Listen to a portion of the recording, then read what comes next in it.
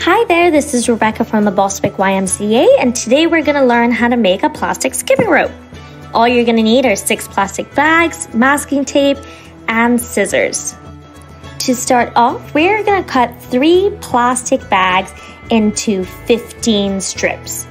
To do that, you're going to want to lay your plastic bag flat down on the ground and you're going to want to cut off the top end of the plastic bag and then you're also going to want to cut off the bottom end of the plastic bag. This will just leave you with a flat piece of plastic with a big hole in the middle. Once you've done that, you can cut this piece of plastic into five roughly equal pieces. They don't have to be exact. Your strips should look like this and you should be able to open them up a little bit. Once you have finished cutting up three plastic bags into 15 plastic strips, you should have something like this, which looks a little messy, but this is gonna turn into this. We are gonna knot together our plastic to make three equal chains. To knot together your plastic, you're going to want to take one plastic loop or strip and thread it through another plastic strip. You then take your second plastic strip, loop it through itself, and lightly pull. You don't want to tug too hard so you don't break the plastic. You want to continue looping plastic through each other until you have five strips of plastic. You can then move on to make your second chain of five strips of plastic and then your third chain of five strips of plastic. In the end, you should have a total of three knotted plastic chains. Once you have your three completed plastic chains, you want to make sure that you are ensuring that they are not tangled because we are going to put these three plastic chains together by braiding them, which looks a little difficult, but it's not that bad.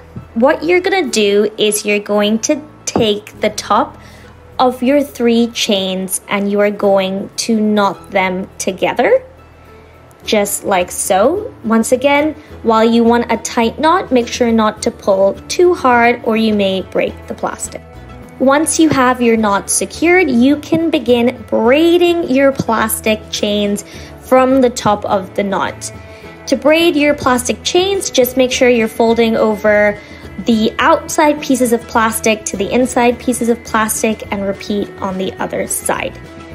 I would suggest putting something heavy on your knot so that it does not go flying and it keeps your braid tight. Once your braid is complete, it should look like this. Now, with the next three plastic bags, you need to repeat the process all over again. Just as a reminder, you're gonna cut five strips from three plastic bags, tie together the strips to form three chains, five strips per chain, and then you're gonna braid all the chains together. When all is said and done, you should have two plastic bag braids. We are now coming to the last few steps in our tutorial. You're gonna take the two braids that you made and join them together at one end. So you see here I have two different ends of each braid and I am joining to them together using a piece of masking tape. I'm using green masking tape because this will actually eventually become one of the handles on your skipping rope. So if you have something a little bit more lively, that would be fantastic.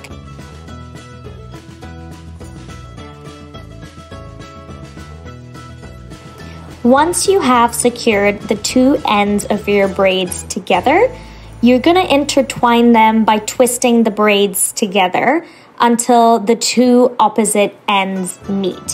When the opposite ends meet, you can stick some masking tape on those ends to give you your finished skipping rope like so. if you'd like a thicker skipping rope, feel free to use more braids and different colored plastic. That is all from me. Thank you for watching this tutorial.